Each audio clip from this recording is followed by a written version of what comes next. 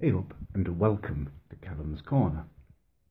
Now, some of you may be aware that my previous video has blown up somewhat and um, it's kind of ended up being shared by Unilad, which is a stitch up. I've watched it and I've somehow made it, edited it to make me look mental. But this is just a quick video, a plea, if you will, to stop messaging me and friend requesting me. I've literally thousands of messages from little 14 year old virginal boys who look like they smell of a mixture of salt and vinegar crisps and Lynx Africa.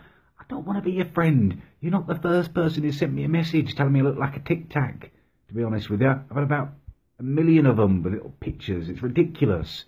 Tomorrow evening, I will be going live and I will be coming after each and every one of you with great relish be prepared.